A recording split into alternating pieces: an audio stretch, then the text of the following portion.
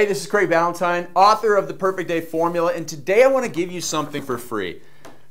This little tool is available at craigballantyne.com forward slash free gift. And you know who it's for? It's for people that are struggling to figure out how they can overcome all the obstacles in their life. So if you've ever thought to yourself, oh man, this problem keeps coming up, it's really sucking my time. It is a time vampire. Well, you know what? We can overcome that. How do you overcome that obstacle? I'll tell you in a second. But first, let me tell you more about the Time Journal. Again, you'll get it at craigballantyne.com forward slash free gift. You'll download this and you'll fill it out. You'll fill it out in 20 minute increments over the course of the day. Here's what I'm doing at 9 a.m. Here's how I feel.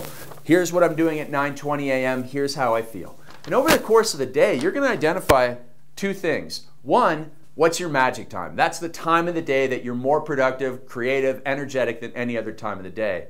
And two, where are you losing time? Where are you being sucked down rabbit holes on social media? Where are you checking your email too much? Where do you feel like you have no energy and you need a nap?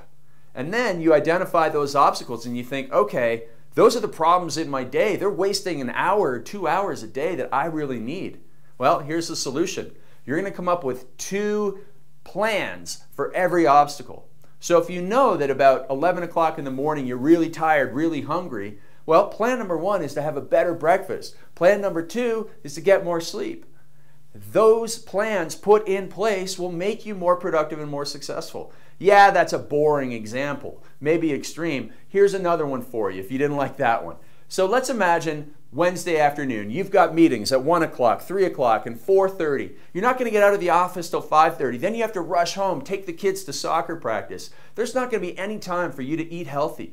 Well, here's what you need to do. You need to plan the night before. You need to prepare those meals. You need to identify, okay, if I'm driving from work to soccer practice, where can I stop in and get something, anything at a grocery store that is so much better than going to a fast food outlet? When you have that mindset of planning two solutions for every obstacle, that's how you control your day. That type of structure gives you true freedom in your life. Now, if you like that message, make sure you go to craigballantyne.com forward slash free gift and get this download so that you can identify those obstacles in your life and become more productive because you're more proactive and you plan better for your life.